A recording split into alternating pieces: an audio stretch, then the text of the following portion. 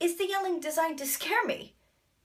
Because I don't really know what I'm supposed to be scared of.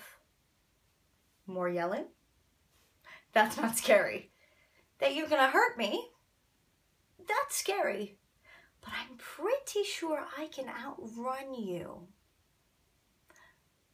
I looked up that philosopher you quoted, Jagger, and you are right.